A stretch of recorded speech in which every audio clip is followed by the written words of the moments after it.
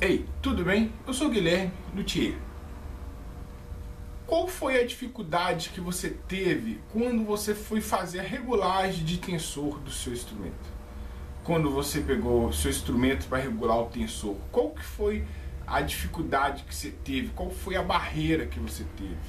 Né? Foi o medo de quebrar o tensor, alguma coisa assim? O é, que, que você teve de, de preocupação na regulagem do tensor? Ou foi muito tranquilo para você? Você já chegou, fez a mesma coisa que você viu no vídeo e deu tudo certinho. Eu acredito que você pode ter ficado com medo de estragar o braço do seu instrumento, certo? Só que em questão de estragar o braço do instrumento, você não estraga o braço não.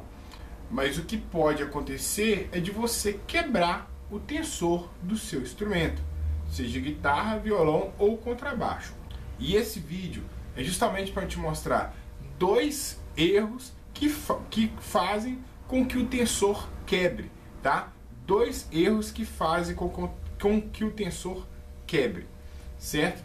O primeiro erro que faz com que o tensor quebre é você encaixar, na hora que você encaixa a chave, você girar o tensor você vê que ele está girando, você percebe que a bala do tensor está girando, mas ela está pesada demais, certo? Aí o que, que você tem que fazer? Você tem que lubrificar o tensor para que ele fique mais macio. Isso acontece, é, ele fica pesado devido a muito tempo de você não regular o tensor. E aí ele vai oxidando, e aí ele vai ficando travado. Então você tem que lubrificar o tensor para que ele fique mais macio, tá? E assim ele vai girar é, bem mais confortável, você vai ficar mais tranquilo para girar o tensor, certo?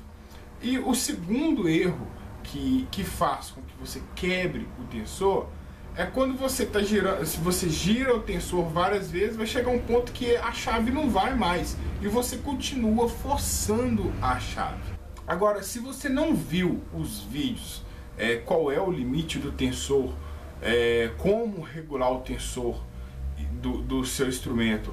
Ou é, como lubrificar o tensor, eles vão aparecer aqui embaixo agora e você pode ver esses vídeos. Assim você pode regular o tensor tranquilamente, sem nenhuma preocupação de estragar o tensor. É só você seguir esses vídeos, assistir eles, que você vai ter todo o conteúdo que você precisa para regular o tensor do seu instrumento. E lembrando, o tensor do instrumento é obrigação o dono do instrumento saber regular, tá? É obrigação, porque qualquer lugar que você tiver, se tiver uma mudança de tempo, é, o braço oscilar, você vai regular o tensor do seu instrumento. Beleza? Se você gostou desse vídeo, vai aqui embaixo, dê um like de positivo, compartilhe esse vídeo com seus amigos para eles terem a ideia do que, que pode estragar o tensor, o que, que faz quebrar o tensor, tá?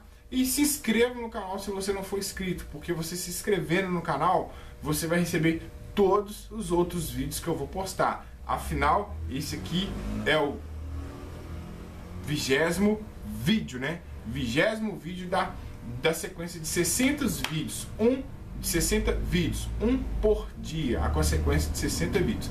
Beleza? Então é isso aí, valeu, eu te vejo nos próximos vídeos. Valeu!